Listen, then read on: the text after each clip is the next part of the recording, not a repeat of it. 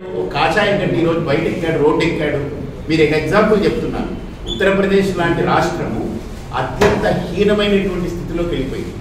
అందరూ తిట్టుకునే పరిస్థితి. గుండాలు రౌడీలు మొత్తం మర్డర్లు మానభంగాలుగా ఉండేటువంటి అదే కార్యక్రమాలతో నడిచే ఉత్తరప్రదేశ్ని ఈరోజు ఎన్ని ఇండస్ట్రీలు వచ్చాయి ఎంత డెవలప్ అయింది ఎంత వాళ్ళు పూర్తిగా అట్టడుగు ఆర్థికమైనటువంటి స్థితిలో అట్టడుగు స్థితిలో ఉన్న దాన్ని ఈరోజు భారతదేశంలో మంచి స్థితిలోకి తీసుకొచ్చి డెబ్బై నాలుగు వేల కోట్ల ఆదాయంలోకి ఆ స్టేట్ని తీసుకొచ్చారంటే ఒక సన్యాసి కాబట్టి చేయగలిగాడు అదే ఒక సన్నాసి నుండి వాటికి ఇంకా గుండాలు రౌడీలు మర్దలు మానభంగాలు లేకపోతే గందరగోళాలు ఇంకా కిందకి వెళ్ళిపోయి ఉండేది కాబట్టి నేను ఒక అడుగు వేశానంటే ఒక సంకల్పంతో మీరు ఆలోచన చేయండి.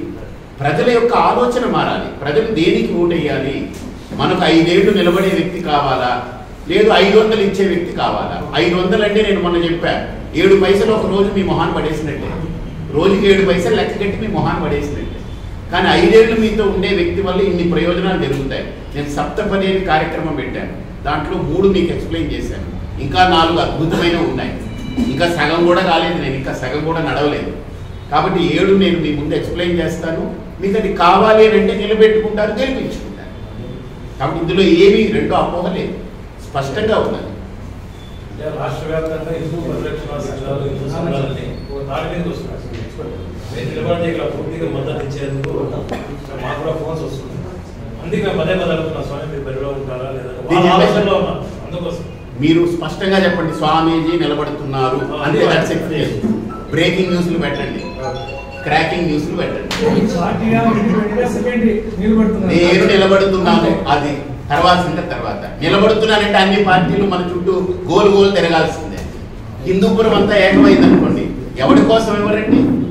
ఎందుకు ఇవ్వరు మీకోసం నేను నిలబడ్డప్పుడు మీరందరూ నిలబడితే ఎవరి కోసం పార్టీలు దిగిరావు? వస్తాయి. ఖచ్చితంగా రప్పిస్తాం.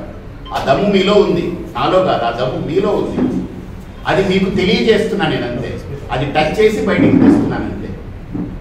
సాంప్రదాయంగా వెళ్ళి కళ్ళు మూసుకుని ఒక దానికి గుద్దేస్తామని దీనికి సాంప్రదాయంగా బుద్ధి దానికి సాంప్రదాయంగా బుద్ధి. ఏమిటి బుద్ధి గుద్ది గుద్ది గుద్ది మనం ఇన్ని సంవత్సరాలు యాభై ఏళ్ళు అయితే డెబ్బై ఐదు ఏళ్ళు అయింది వేసిన గొంగలు అక్కడే కాబట్టి ఆలోచన చేయండి.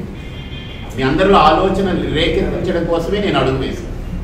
నేనేమి ఇక్కడ ఏదో శాశ్వతంగా ఇక్కడ ఏదో డేరా కట్టుకోవాలి ఇక్కడ కూర్చోవాలి అనేటువంటిది నాకు లేదు. సన్యాసిని కాబట్టి మంచి చేయడం కోసం వచ్చే మంచి చేస్తా. బ్యాగ్ వేసుకుంటా సమస్య లేని ఇల్లు ఉండదు పరిష్కారం లేని సమస్య ఉండదు. బంధాలు గొప్పవి బాధలు చిన్నవి. మీ సమస్యని మేము పరిష్కరిస్తాం. రండి మాట్లాడుకుందాం.